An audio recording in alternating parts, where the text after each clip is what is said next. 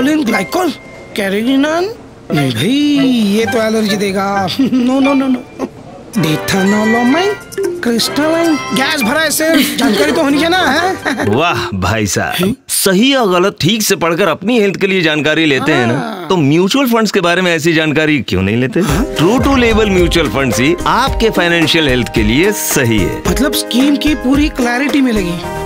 पैसा कहाँ कैसे इन्वेस्ट होगा इसकी कमिटमेंट और ट्रांसपेरेंसी भी रहेगी। ये mutual fund investment subject to market risk read all scheme related documents carefully